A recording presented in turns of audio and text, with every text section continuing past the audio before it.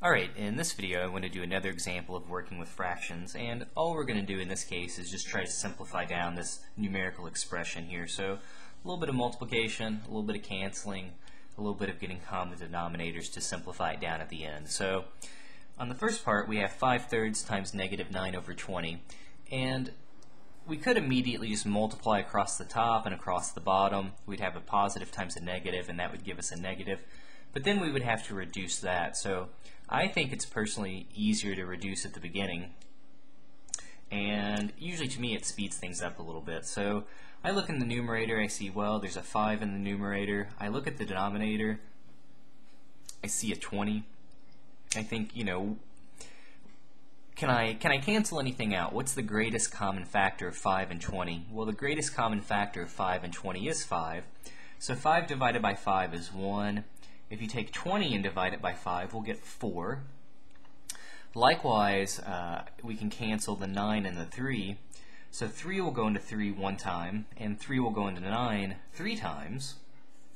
So really, to me, we have 1 times negative 3 in the numerator, which is just negative 3. And then in the denominator, we have 1 times 4, which is simply going to leave us with a 4. Likewise, for our middle term, I see a negative times a negative, so that makes a positive. And then the same thing, I see, you know, 7 on top, 7 on the bottom. Well, 7, the 7s will basically just cancel out. You know, 7 will go into 7 one time. You can divide 7 by 7 one time. So we could put a little 1 here if we want to. And we took care of the signs, are negative and a negative. So to me, we have 2 times 1, which is 2 on top. And then we have 1 times 3, which is 3 on the bottom. And then we do the same thing one more time. Negative 1 over 6 times 2 over 3, that's going to give me a negative. So I, I, think, again, you know, I see a 2 and a 6. 2 divided by 2 is 1. 6 divided by 2 is 3. And again, if we multiply the numbers on top, 1 times 1 is 1. 3 times 3 is 9. So we get negative 3 fourths plus 2 thirds minus 1 ninth. And at this point, what we have to do to combine these, now we do have to get common denominators.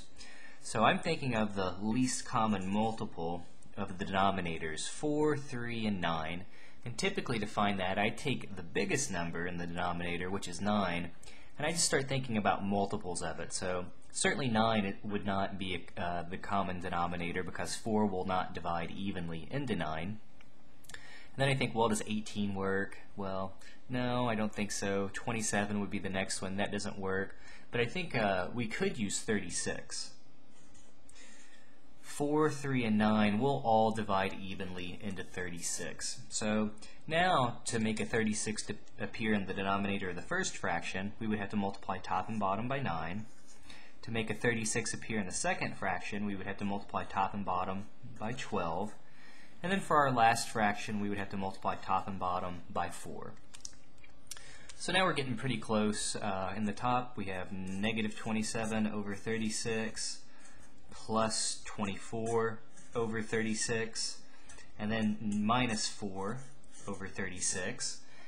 And again, for fractions, you just do the arithmetic in the numerator. So to me, this says negative 27 plus 24 minus 4 all over 36.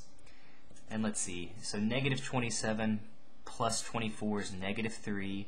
Negative 3 minus 4 would be negative 7 over 36. And again, I kind of asked myself, does this reduce? But 7 does not go into 36.